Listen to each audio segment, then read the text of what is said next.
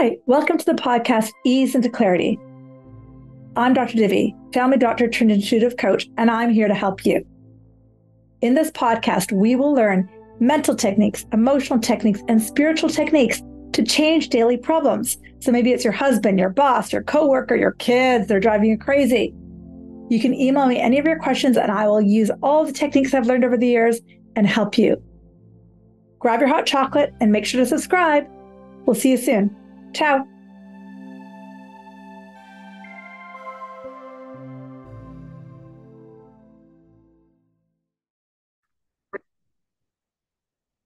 Hello, it's Dr. Divi from the podcast Ease to Clarity. And thank you so much for being here. So, today we're going to be doing a couple email questions that came in from our listeners. So, thank you so much for sending them. As you probably remember, I did a series on body not too long ago, and I got three questions in on body, and please feel free to send more in. So I gave you guys the option that if you had some body issues yourself or a family member, you want to get a sense of what the metaphysical, energetic components were, I'm happy to help you. So the two, I've got three, one on miscarriages, one on sciatica, and one on irritable bowel syndrome. So I'm going to the irritable bowel and the um, and the sciatica today, and the miscarriages because it's a little bit um, different and deeper on a different level. We'll do that next next time. All right, let us have some fun. But before we begin, go ahead and close your eyes. And if you're driving, you're not going to close your eyes and take a few breaths.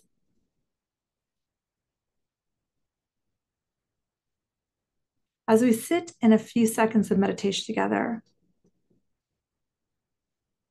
I invite you to imagine, sense, see, or feel that you're not this body. I know we think we are this body, what if I'm inviting you to imagine that you are the consciousness of the I am? You are the light. You are the divine. You are the spark as a child of God. The thoughts you think by the act of free will are manifestation. All you are is consciousness. This body is a meat suit. It's temporary.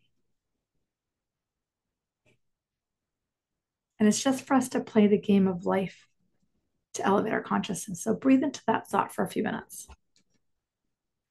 I am not this body. And before I take you into the next part, I would love you to imagine that this body is my recept my my receptor my communication device to what my consciousness or thoughts are doing. So, as we move into today's podcast, am I open to becoming aware of what the signals of my body are doing as I speak of these two illnesses that also impact millions of people around the world? Take a few more breaths. And when you're ready, gently open your eyes, coming back. So let's do irritable bowel first. This question comes from one of my favorite clients, Joelle, who I haven't seen for a while. So, hi, Joelle. I hope you're doing super well. Um, I miss you and love you very much. And thank you so much for a beautiful question. So, I met Joelle in her healing journey a number of years ago. And by now, she's had 20 years of IBS. I'm just pulling up her message and I'm going to summarize it. So, she recently um, decided to go off all her naturopathic supplements because she realized it ain't working. She's been doing this for a long time. And she asked her guides to help her understand what's going on with her gut issues. And she had this thought out of nowhere, her intuition telling her she should show herself more love. And and then she realized, oh wow, I've got a very strong inner critic that's very dominant. And she's wondering if there's a link between her inner critic and her irritable bowel syndrome and what my thoughts are on that. So let us begin. Thank you for this question, Joelle. So let's just talk about your, what irritable bowel syndrome is, and then um, I'll dive in. So please listen to this, to this if you have any health issues, because you're going to see a lot of parallels, because IBS is a pretty common thing. Irritable bowel syndrome or IBS is a condition where the, the small intestine and large intestine just kind of spasm whenever they want. That's how we, we always taught in medical school. And the symptoms can often be bloating, constipation, diarrhea, a stomach aches on and off and just not feeling well, right? Fatigue, all those kinds of fun things. IBS is not fun. And um, if you talk to Western, med- Western trained physicians, will tell, tell you we don't know why they ha- happens. There's lots of theories and there's lots of trial medications that people try that hit and miss. Some people respond, some don't. In general, as most of us know who listen to my podcast, a lot of illnesses that are termed idiopathic, which is a word for we don't know, um, are simply because we can't come up with a firm reason why this person got this illness. Versus, for example, when you have, say, appendicitis, we may not know why you've got it, but we know what to do. We have to cut it out, right? If you have cystic fibrosis, well, we can, um, you know, say, oh, you've got the genetic thing for this, right? And again, Western medicine can help amazingly with certain things and then takes us only so far. And that's where the rest of the work I do, metaphysical and energetic, comes in as my preamble. So, as most of you know, when it comes to anything with the body, I'm always a big believer of listening to your intuition. If your intuition says, go see a physician, go see an naturopath, go do it. But people always end up coming to me when they've kind of exhausted all those remedies. And one of the big teachings I offer a lot of people is intuitive, emotional, spiritual guidance, a lot based on energy work and, of course, miracles. And what I keep seeing in your body, Joelle, but especially in your stomach, and hopefully this helps anybody else with IBS, I keep seeing almost like a twist knot right in the center of your body, right below your solar plexus. It's like they keep saying she doesn't believe in herself, hence the inner critic. But it's not that you don't believe in yourself, but the, the worthiness has always been exterior. So if I get an A in school, if I get this done, if I have some kids, if I get married, and as you know, because you're older, um, you know, we always keep pushing that bar further away. When then, when then, when then. And that's what the ego is screaming at you that you're not enough, that you're only worthy then. And it literally is contracting our stomachs because it's bringing fight, flight, freeze. So, yes, I think you're bang on in the connection between your inner critic and, and your IBS. But I'd add to that any fear that you're not enough is 100% related to irritable bowel syndrome. Any fear that there's something wrong with you is connected to irritable bowel syndrome. Actually, isn't connected, it is. So, reminder here we are in spirit, my ring hand, and here we are in the ego consciousness. The first block of the ego, or the first um, principle of the ego, the first um, belief of the ego is that you are separate from God. You are separated from the divine. And that separation then creates a, the first one, which creates sadness. And then it creates the second belief, which is attachment that I want this to feel better. I want to have kids to feel better. I want to have this house to feel better. I want this degree to feel better. And then, and then, and then. So attachment creates frustration anger.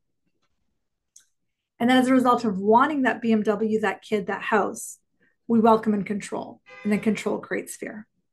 Now, IBS is normally a disease of immense fear but if you take it all back, it's fear because you are in charge of getting the kid, the house, the this, the that, thinking that that's when I will be whole. But you go from um, control, which is fear, back to attachment, which is frustration, back to separation, which is lack and sadness. And ultimately, it all comes down to Joelle and to everybody listening this idea that you are separate from the divine. So go and close your eyes for a sec. We'll do a mini meditation.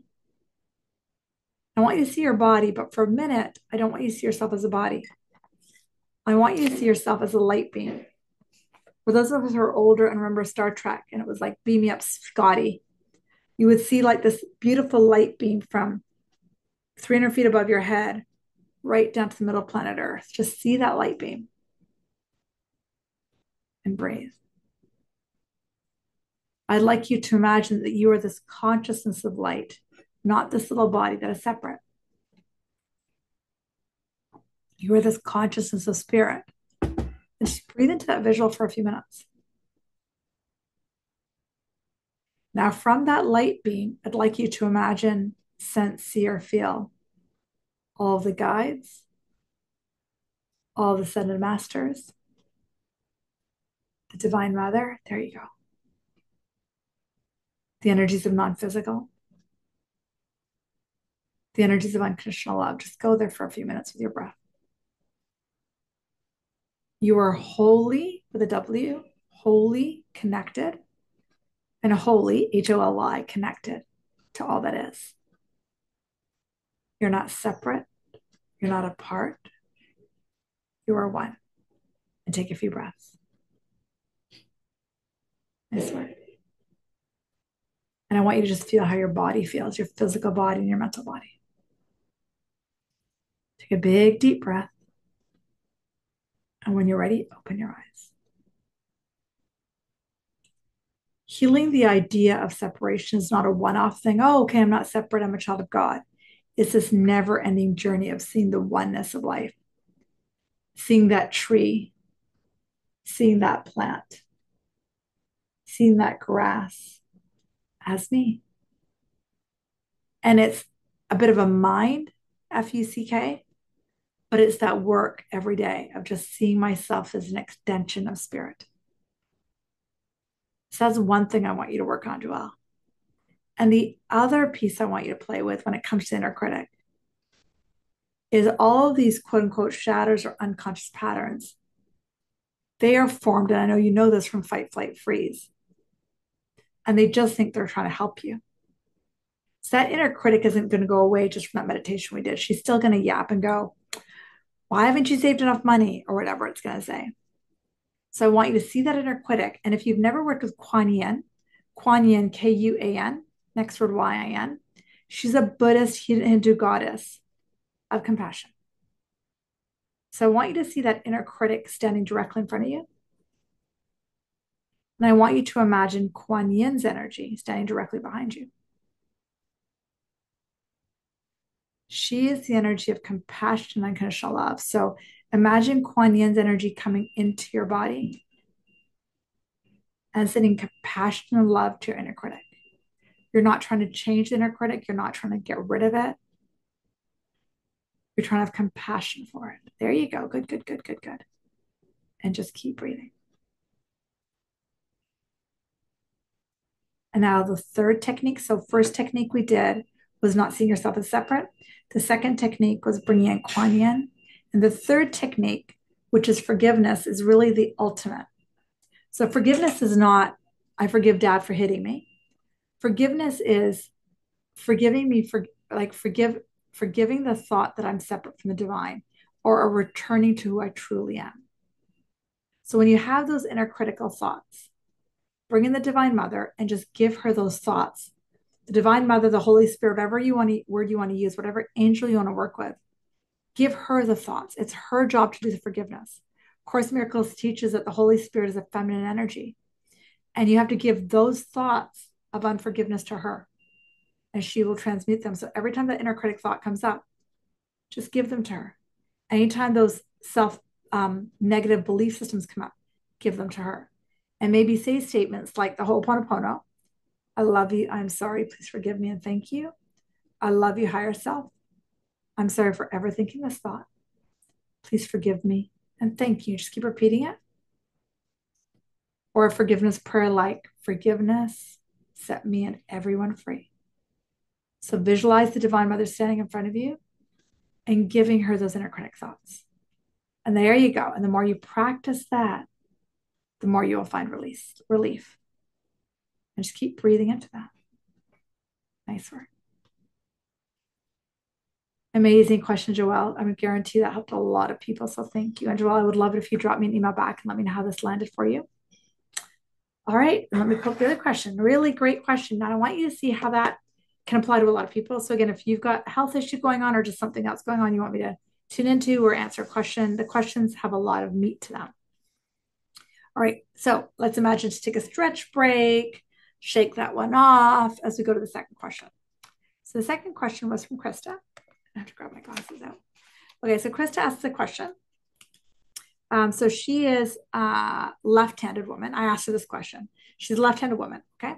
And so she wrote, um, um, can you talk about sciatica pain? I struggle with it, and I hear a lot of people struggle with it. I'm wondering what this may be affected to as far as my thought systems and emotion that are creating the pain. Then I emailed her back and I said, what side it is, right or left? And she said left side.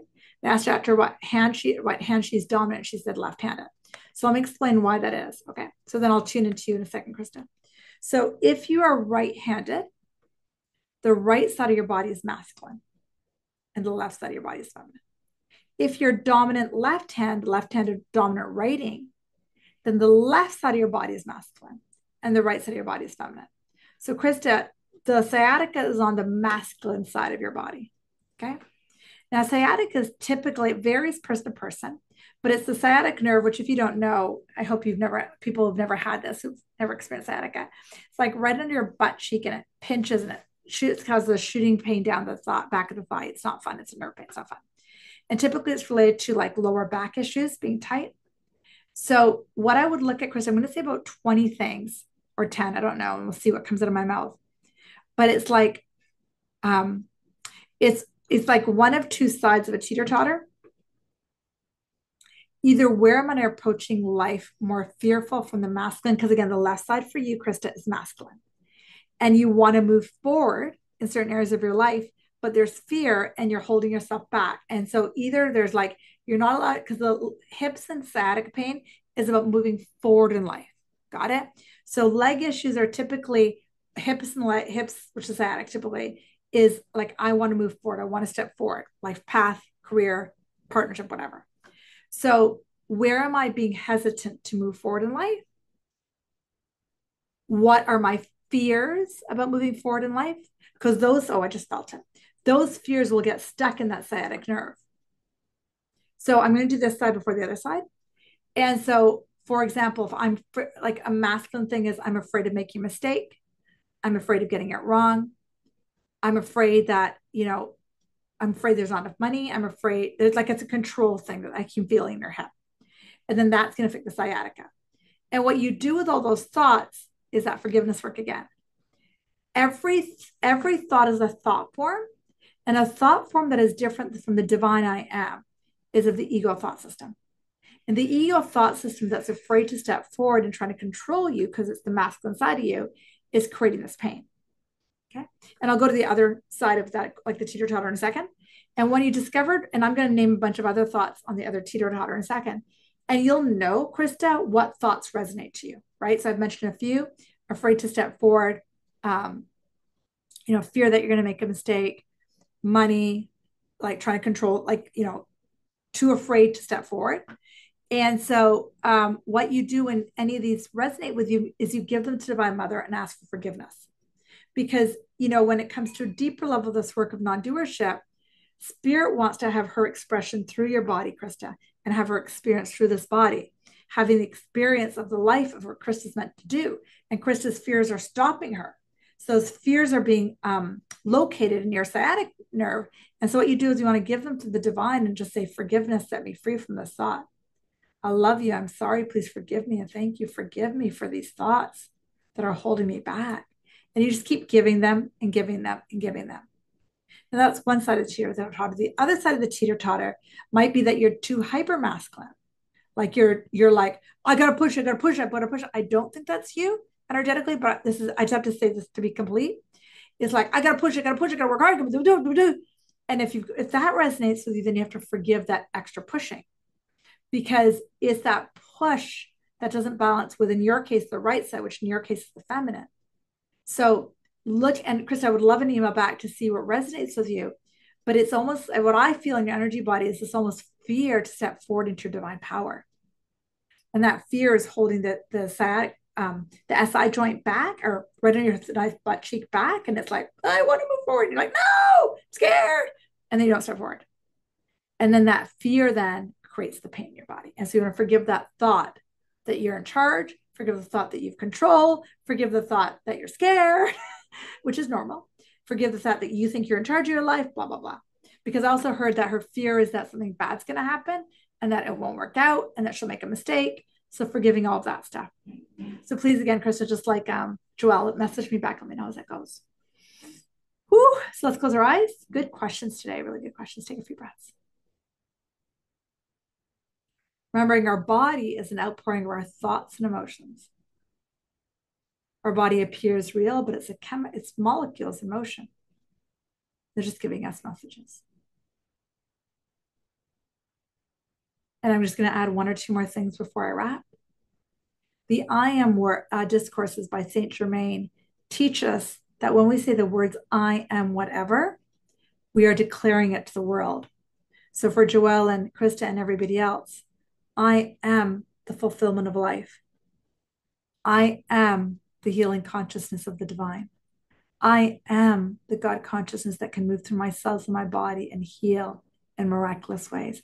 I am the peace of the divine that can create and open and share and shift and create miracles. I am the connection of all that is. So, taking those affirmations into your body and letting them land. Nice work, everybody. I'm sending you lots of love. Thank you for these questions. And again, if you have more, feel free to send me emails at easeinto at gmail.com. My next one, I'll be speaking about miscarriages and having fun with that one too. Sending you lots of love. Namaste.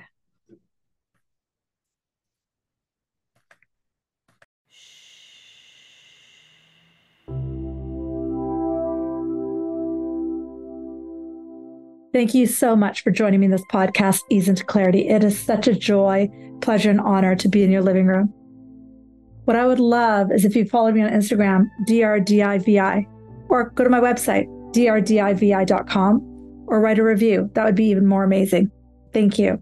If you really enjoyed this podcast, feel free to share it with friends, family, tell them to follow me, because I think the more of us that listen to the fact that we, each of us, can start to shift, each of us can shift mental things, emotional things, spiritual shift to shift our daily reality. When more and more of us do it, we get a better planet. We get more love. We get more happiness. We get more joy.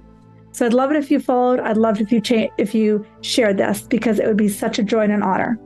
And again, if you have a question, guess what? I'm here for you. So send me an email, easeintoclarity at gmail.com. And as they come in, I will answer them in podcasts that are subsequent, whether it be your boss, your relationship, your husband, whatever. That's what I'm here for. Because the more of us that learn really simple mental techniques, really simple spiritual techniques, we change the physical reality we live in. Pretty soon, we have more peace, more ease, more joy trickling across the whole world. Remember, there's a spiritual solution for every problem. Thank you for joining me. Namaste.